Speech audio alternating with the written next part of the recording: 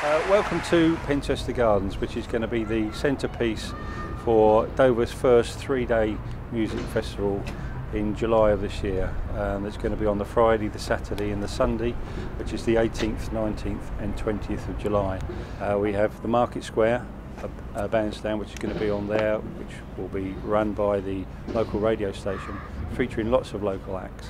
Uh, we'll have street entertainment throughout the day. And then in the evening, uh, we're very pleased to uh, have this China Crisis at the Town Hall.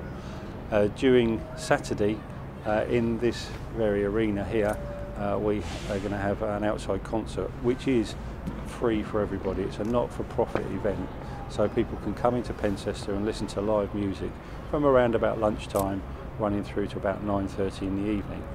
In addition to that, on the Saturday evening, we have uh, the blues band, which will be featuring Paul Jones uh, at the Town Hall. Um, also, uh, on the Sunday, we have more live uh, music in Pencester, and that's going to be again free, free entry.